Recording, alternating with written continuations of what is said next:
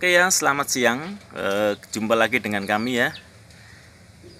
Pada saat ini saya ingin mencoba berbagi mengenai hasil dari stressing air ya, yang lebih kita kenal e, cara membuahkan atau memunculkan bunga pada tanaman alpukat atau tanaman yang lain dengan cara sistem stress air. Nah, ini adalah e, kami tunjukkan hasilnya ya setelah kami kurang lebih dua bulan melakukan stressing air pada tanaman alpukat yang ada di dalam pot ini ya. Ini ya alpukatnya sedang dibuat kaki ganda. Ini sambungan baru dan ini sambungan yang kaki tambahan yang sudah jadi. Ini kami lakukan stressing kurang lebih dua bulan ya. Dua bulan kami e, memang sengaja untuk mencoba memunculkan memunculkan ini bunga dengan tanaman yang masih kecil ya. Tanaman yang masih kecil ini kami coba dengan stressing air ya. Kurang lebih eh, setiap lima hari sekali 4 sampai 5 hari sekali itu saya siram sekali. Namun kita pantau agar tidak sampai kekeringan dan mati baru kami berikan penambahan air namun jumlah sedikit saja.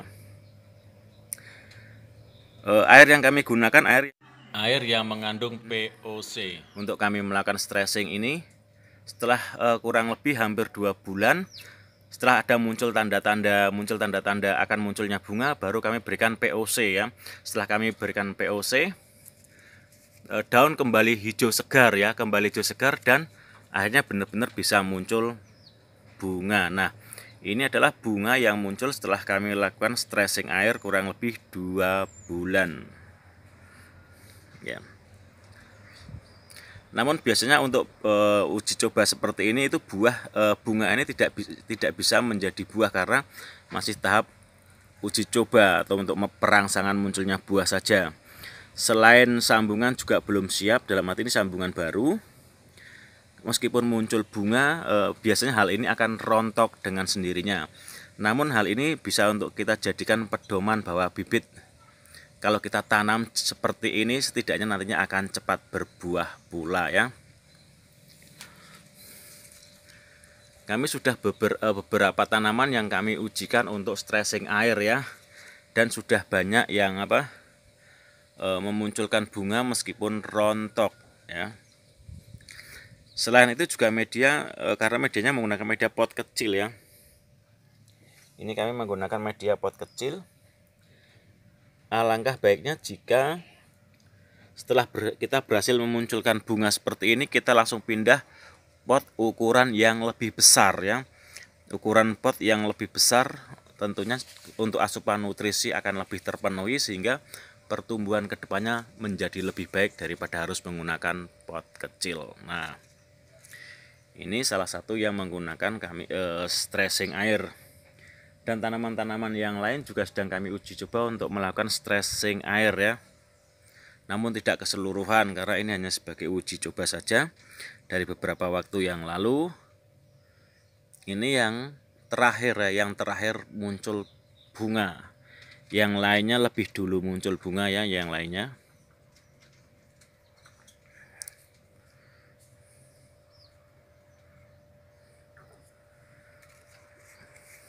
Jadi di dalam melakukan stressing air kita harus awasi terus, kita amati terus agar tanaman ini tidak sampai kebablasan atau kelewat layu dan akhirnya mati.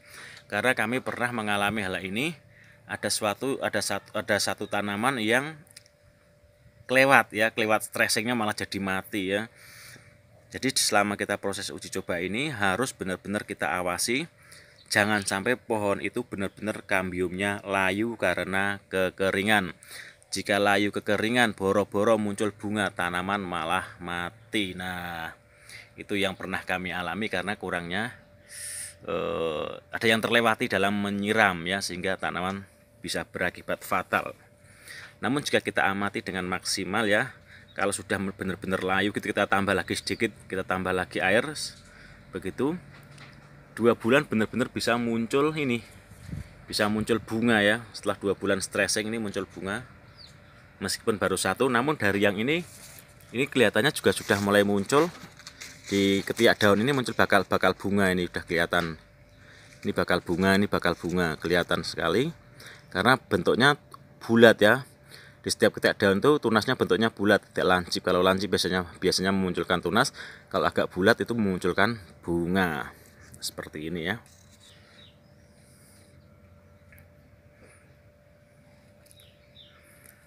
ini dari jenis super jumbo. Ini dulunya adalah bibit afkir ya. Bibit afkir itu maksudnya tanamannya itu e, dilubangi binatang pengarat ya. Binatang pengerek batang itu melubangi setiap ini.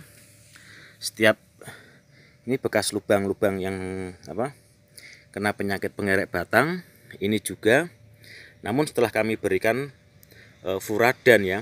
Pada media tanam ini saya berikan furadan ternyata akhirnya bisa pulih ya. Ini bisa perlahan-perlahan lubang-lubang ini menutup kembali. Tadinya berlubang-lubang binatang pengerek batang ya. Itu melubangi batang-batang ini. Dan ini sudah uh, sudah agak pulih. Dan ini sudah berhasil agak cukup subur meskipun setelah proses stressing air dan memunculkan bunga dan ini rencana eh, ini baru sekali saya berikan POC urin kelinci ya. Baru sekali saya berikan POC urin kelinci setelah stressing. Setelah proses stressing dan ada tanda-tanda muncul bunga langsung saya berikan POC urin kelinci dan juga air bawang apa? Air bawang merah sedikit micin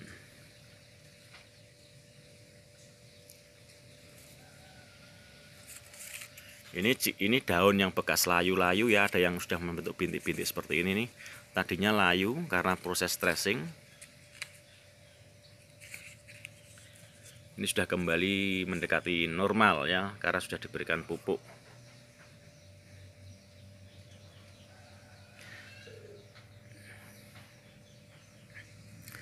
Ini juga calon apa calon bunganya ini juga mau muncul lagi yang sebelah ini ini juga calon bunga ini nah ini calon bunga. Dan ini ini bunga yang sudah terbentuk yang ini ya. Dan oke okay, pada kali ini saya akan juga tunjukkan buah alpukat apa e, tanaman alpukat yang lain yang sedang proses stressing ya yang sedang proses stressing ini. Di belakang-belakang ini sedang proses stressing untuk mencoba memunculkan memunculkan bunga ya masih proses stressing dan coba akan saya tunjukkan pada tanaman yang sedang dipacu munculnya bunga dengan cara stressing ini ya. Itu ada di belakang-belakang itu. Sedang kami coba untuk paksa stressing air.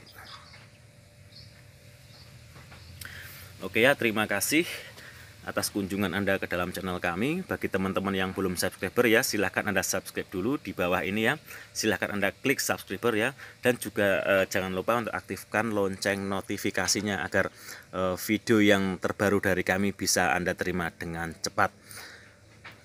Dan saya ucapkan terima kasih bagi semua eh, subscriber setia dan teman-teman semua yang telah mendukung channel ini untuk berkembang.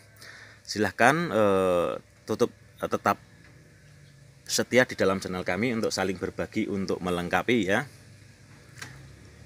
Semoga video ini juga bermanfaat buat orang lain dengan cara silahkan Anda bagikan ya, Anda share ke medsos-medsos yang Anda punya, ke link-link yang punya, Facebook, ya, Twitter, Instagram, WhatsApp dan sebagainya ya. Silahkan Anda bagikan agar video eh, dalam channel-channel kami ini bisa bermanfaat bagi teman-teman yang lain ya siapa tahu hal ini bisa membantu mereka untuk uh, menjadi uh, suatu lapangan pekerjaan baru lapangan pekerjaan baru buat mereka-mereka yang tentunya uh, yang ingin menekuni dunia uh, tanam menanam atau dalam membuat bibit hasil grafting ya dengan cara bagikan channel-channel kami Yuda Swada Channel ke medsos teman-teman semua. Oke, selamat pagi, selamat beraktivitas dan sukses.